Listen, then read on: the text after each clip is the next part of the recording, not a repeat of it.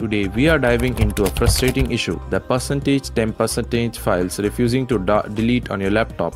Hey everyone and welcome back to the channel. If you find this tutorial helpful, please consider subscribing and liking.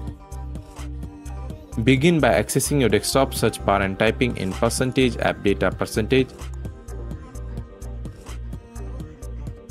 Select all the files within the directory and delete them. Keep in mind that some essential files may not be deleted, so don't be alarmed.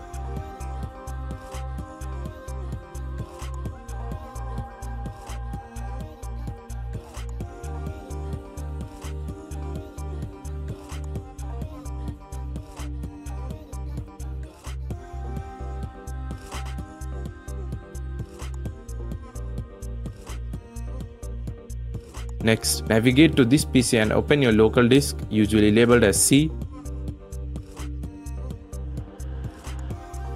Within the C drive, locate and open the Windows folder.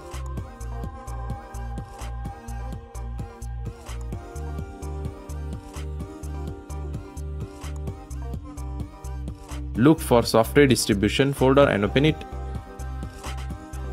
Inside the software distribution folder, navigate to download directory Select all the files within the download folder and delete them.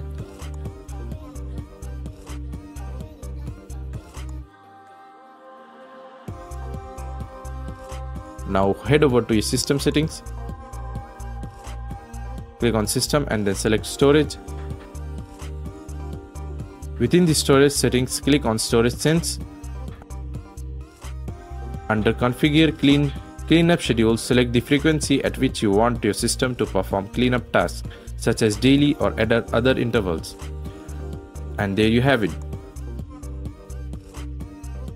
By following these steps, you should be able to resolve the issue percentage temp files refusing to delete on your laptop. That's it, thanks for watching.